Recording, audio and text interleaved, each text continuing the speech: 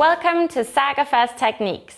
Today I'll show you an easy way to twist up your fox and we're going to end up with a nice infinity scarf.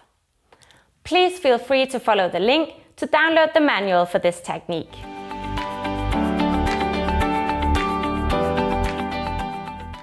I'm using Shadow Fox today, which gives a nice even volume. I'll start by drawing my lines. For my twisted scarf, I want a scarf with a nice volume, so I'm doing the stripes 2 centimeters wide.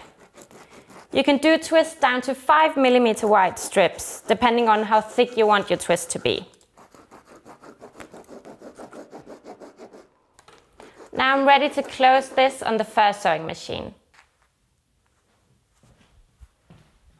So, I'm going to close this into a tube, having both ends free like this.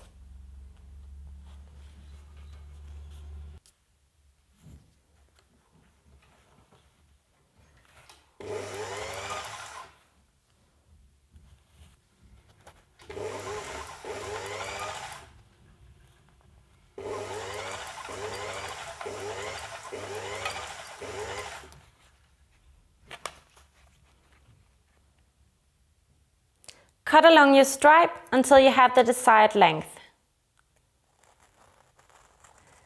Since I'm using my twist for an infinity scarf, I'm doing mine 120 centimeters long.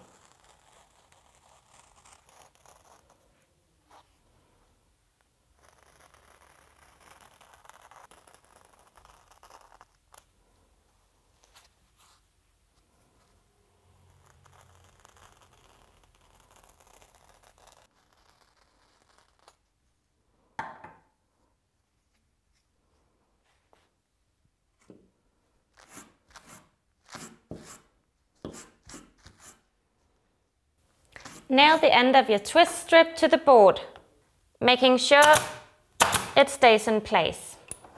Now wet it with a bit of water, same amount as when stretching.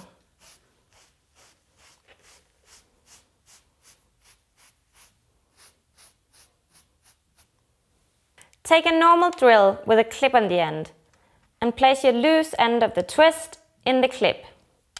Now start your twisting making sure that the leather is folding up nicely with all the fur on the outside, not the inside.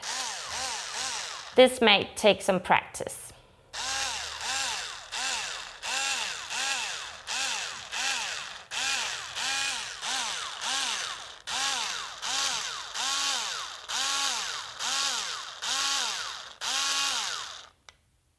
When the whole strip is twisted, remove the end from the drill and nail it to the board.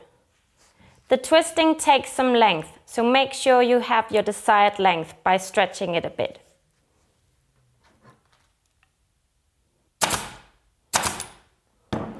Now leave it to dry overnight. Here I have a twist which I already made and I'm going to show you how to close it to get an infinity scarf. Simply take your two ends and stitch them together.